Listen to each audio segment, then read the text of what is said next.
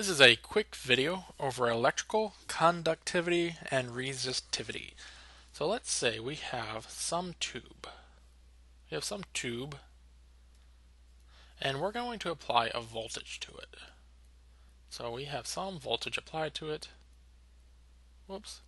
So this is our circuit. We're going to say it's 5 volts and we're going to say that this tube has a length of, so let's change colors, a length of 0.05 meters, whoops, 5 meters, that's its length, and an area, so the area right here is equal to 1, or is equal to, let's go 0.01 meters squared. Relatively big area, but we're still going to say it's 0.1 meters squared. Now, we're going to say that the current going through the wire, so the current, is going to be, um, let's say the current is equal to 1 amp. So I is equal to 1 amp. So the first thing we need to do is find the resistance. So what is the resistance? So what resistance? Well, all we have to do is use Ohm's law, which says the voltage is equal to the current times the resistance. So if we divide both sides by current, what we get is this current cancels out with that. So we get the resistance is equal to the voltage divided by the current. So that is equal to 5 volts divided by 1 amp. Well, the volts and the amps, well, that just turns into an ohm. So we get 5 ohms. So the resistance is equal to 5 ohms. All right, so now we know the resistance. So R is equal to 5 ohms. So let's get rid of all that. Again, so voltage is the driving force, it's what's pushing the electrons around the circuit. Current is the number of electrons per second going through the circuit, and the resistance is the thing that is resisting the flow of the current. So just wanted to pass that through one time. So to find the electrical um, resistivity, the electrical resistivity, so electrical resistivity. That's pretty straightforward. So what I mean by that is the electrical resistivity is that symbol is equal to the resistance of what we're looking at, the material that we're looking at, times the area of that material divided by the length of that material. So that is how we find the electrical resistivity.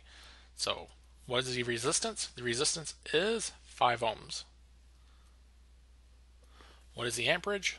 The amperage is 1. Right? Or no, that's area. The area, so, yep, this is area. Area is equal to 0.01 meters squared divided by the length. Oh, I hope I said that right. So that's length, this is resistance, that is area. So the length is 0.05 meters. So what do we see? So we see 5 ohms times 0.01 meters, where that's just equal to 0.05 ohm meters squared all of that divided by 0.05 meters. This meter cancels out with that squared. So what do we get? We get 1 ohm meter. So that is the electrical resistivity. Now to find the electrical um, conductivity, that's just sigma. Think that's sigma. Electrical conductivity. Conductivity. And all the electrical conductivity is the inverse of the electrical resistivity.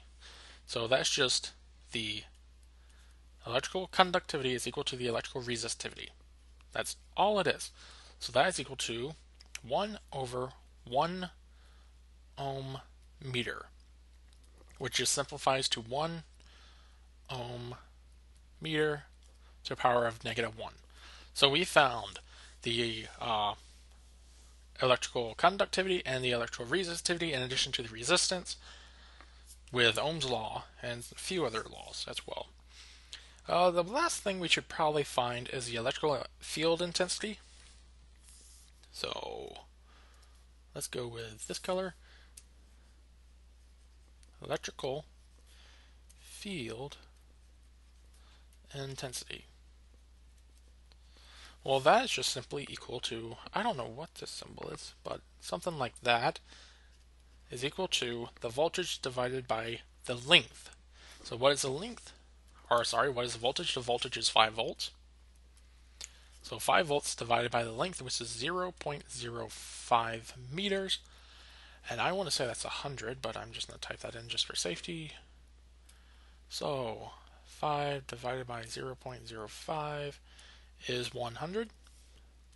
So that is 100 volts per meter. Volts per meter. So the electrical field intensity is 100 volts per meter. So that's basically how strong the electrical field is. Or basically, again, just the intent, intense, intensivity of the electrical field.